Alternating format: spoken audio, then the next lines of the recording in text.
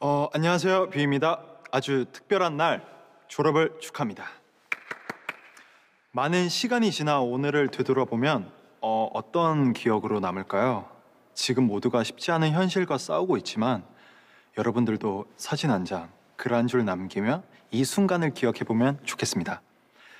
음, 그때는 이랬지, 뭐 2020년 6월은 이랬지, 그리고 현재의 모습에 비추어 다시 바라보는 거죠. 사실 저는 노래와 춤의 재능을 타고나지도 않았고 끈기가 있는 편도 아니었습니다. 사실 친구들보다 뭐 부족했고 시작도 늦었지만 춤추고 노래하는 즐거움에 푹 빠지게 됐었죠. 뭐 그 즐거움은 저를 꾸준히 노력하게 했고요. 그렇게 이 자리까지 왔습니다. 지금 졸업을 앞두고 앞으로 무얼 해야 할지 뭐 잘 보이지 않아 힘든 분들이 있다면 한번 여러분의 진심에 기대어 보세요. 지금은 조금 힘들어도 그 끝자락 어딘가엔 기회와 행운이 기다리고 있지 않을까요? 저는 그렇게 믿고 있습니다. 그런 의미에서 저는 오늘을 기억해 두겠습니다.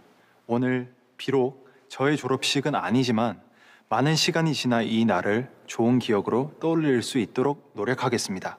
그리고 언젠가 여러분의 이야기도 들을 수 있기를 바랍니다.